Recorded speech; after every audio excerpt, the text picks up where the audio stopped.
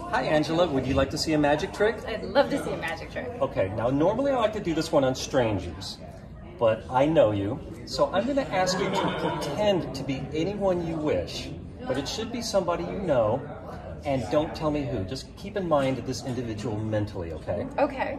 All right, do you have someone? Yes. Okay. The way I'm going to start is I'm not going to ask you to pick a card physically. I'm going to ask you to choose one mentally.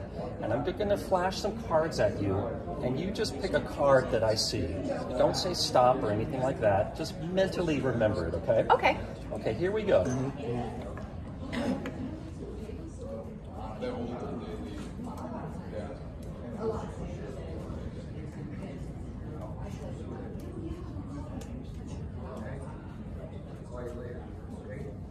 Okay, did you pick one yet? Yes. Okay. By any chance is your card red? No. Okay, that's okay. It's just a guess. Okay, um, we're gonna need to give these cards a little shuffle.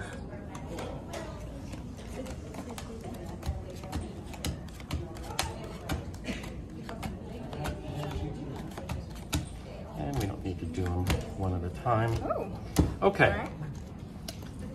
So, the person you're thinking of, Mm-hmm. how many letters are in the first and last name of this person combined? Oh, um.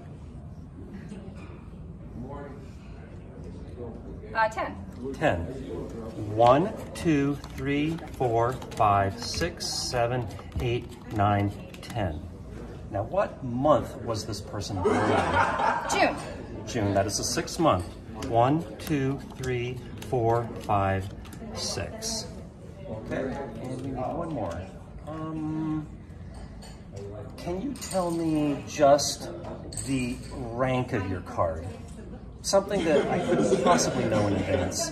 Uh, yes, uh, Jack. Okay, Jack, that is the 11th rank.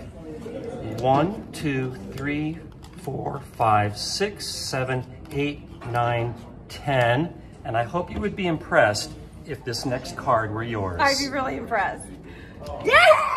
Yay! Well done! Thank Well you. done.